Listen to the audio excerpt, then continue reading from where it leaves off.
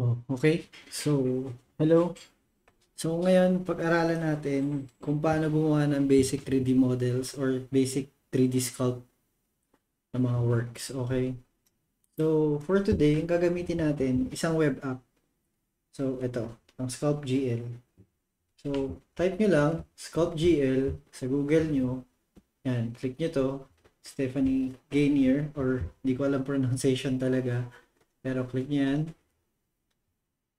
Gainier. So, yan. So, ito na siya. So, web app siya. So, magaan siya sa computer natin.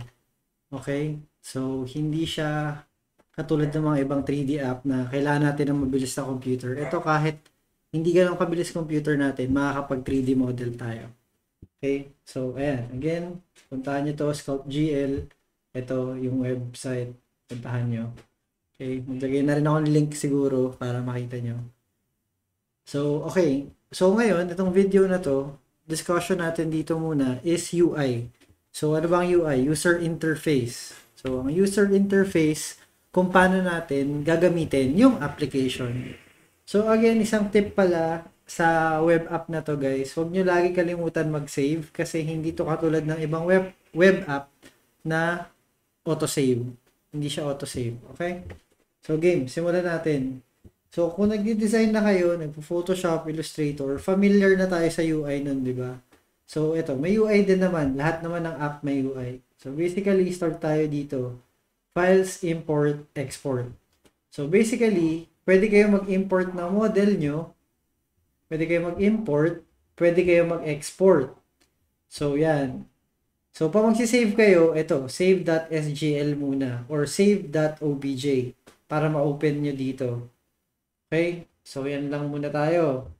So, export textures naman, yung laki. So, madidiscuss natin yan sa ibang lessons natin. Okay? Sa scene, basically, itong scene na to, ito, yan, mga yan, itong apat, sphere, cube, cylinder, torus, basically, tinatawag yan na primitives. Okay? Ayan yung mga basic shapes. So, clear scene muna natin. Confirm clear scene. Okay. Para mawala tong sphere na to. So, clear lang. Klarong-klaro lang tayo dyan. So, click natin. Pili tayo. Sabihin natin, kanina may sphere tayo. Cube naman. So, meron na tayong cube. Okay, may cube tayo. So, pwede tayo maglagay ulit ng panibagong primitive, cylinder. So, may cylinder tayo.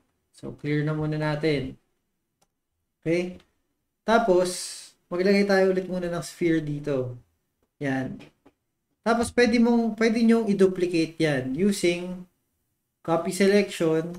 Dahil nakaselect, pag naka-deselect yan, ibig sabihin darker shade. So, nasa na yung isang selection natin?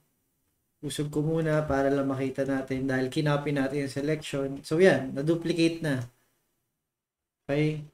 So, clear natin ulit yung scene. Okay. Tapos, delete selection. Pag meron kayong, sabihin natin may sphere kayo dyan, nakaselect.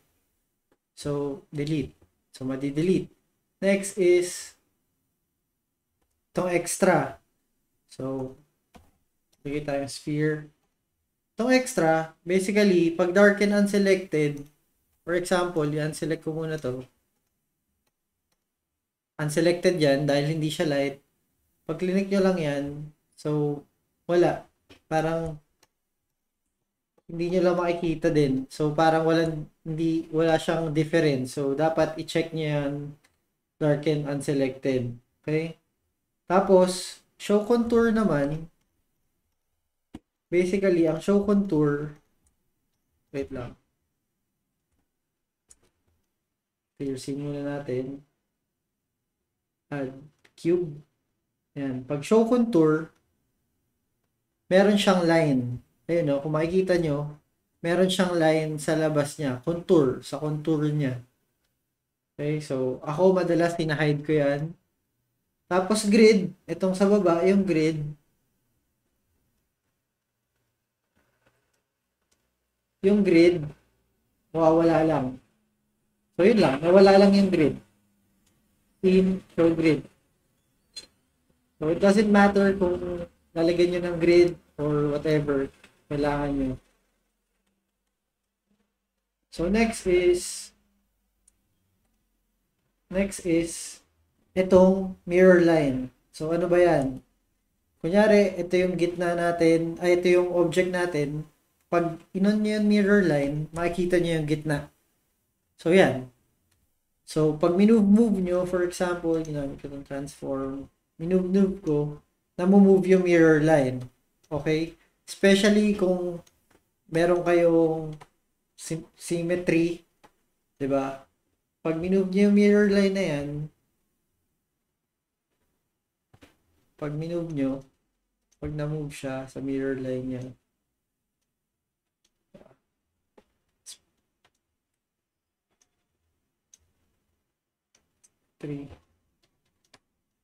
Pag nilagyan yung mirror line, wawala na siya.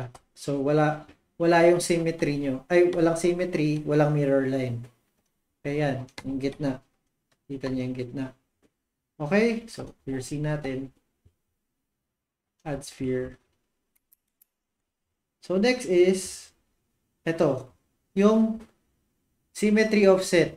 So, naka-mirror line kayo, kita niyo yung gitna, on natin ulit, offset, magagalaw nyo. So, kunyari, ayun yung symmetry nyo. Dito lang nagsisymmetry. Tapos, offset, galaw ko naman dito. Ayun, na-offset siya. Kaya pag nilagay ko sa gitna, balik ko lang sa 0. Balik, oops, balik ko sa 0. Type ko yung 0. 0. Sa gitna na ulit. Ayun na siya ulit. Sa gitna na ulit. Okay? So, next is history. So basically, history, undo, redo lang naman yan. Shortcut, control Z, tapos redo, control Y. Babalik. So ito, max stack, kung gaano kadami yung undo nyo, pati redo nyo. Okay, taasan nyo, pag hindi pa kayo ganun kasanay din, taasan nyo yung max stack nyo. Yan. Taasan nyo. Background, basically, pwede kayo mag-import pwede kayo maglagay ng fill. So, sample na natin muna. Pag pinili nyo environment, ayan. Pwede nyo ayusin yung blur ng environment nyo. Tapos, pwede kayo mag-ambient. Pag ambient, yan lang siya. Yung ano niya. Certain kulay lang. Okay? Tapos, pwede kayo mag-import. Sabihin natin itong illustration ko na to, in-import ko. So, hindi nyo makikita yung in-import nyo kapag hindi kayo bumalik sa image. So, yan. Kita nyo na. Ang laki niya. So, pwede nyo liitin mo, liitan para ayos or pwede nyo gawin. Huwag nyo i-fill para yung certain part na yun. Ang purpose nitong naglalagay kung gusto nyo background or para meron kayong reference ng 3D nyo. Habang nag-3D kayo, kita nyo yung reference. Okay, so reset na natin. Yan, balik natin yung fill. So, okay, ganun lang. Camera. So, ayan, kapag may nakasulat dyan, bar, F, L, T. Pag pinindot niya yan sa keyboard nyo, ayun, top. Diba? Side.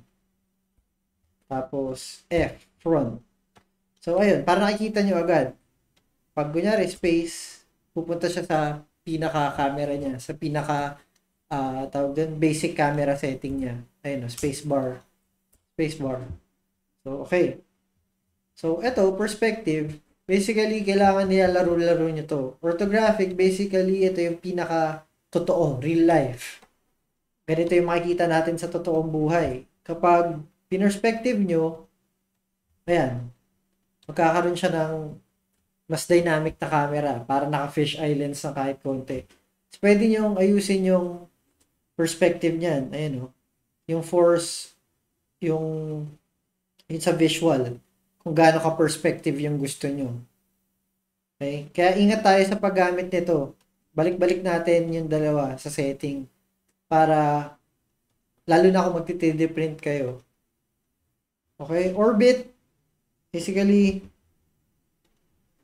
turntable, yung pag-ikot, tapos pag ginawa nyong plane, ay, pag ginawa nyong spherical, ayan, paikot siya. Parang pag ganun yung ano niya, mas trackball siya.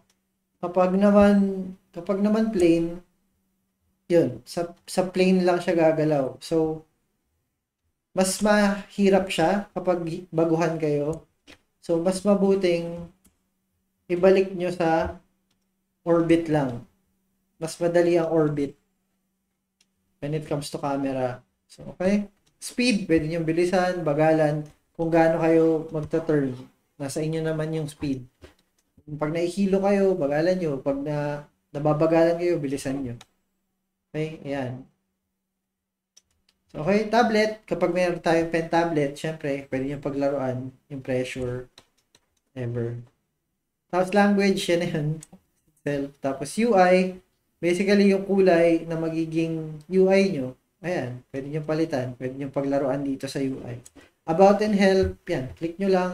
About and help na yun. Okay, so balik natin sa basic na UI kanina. So, yan. So, ito, vertex and faces. Napaka-importante niyan. Napaka-importante nitong vertex and faces. Ito yung nagpapakita sa inyo kung gaano nakarami yung polygons nyo.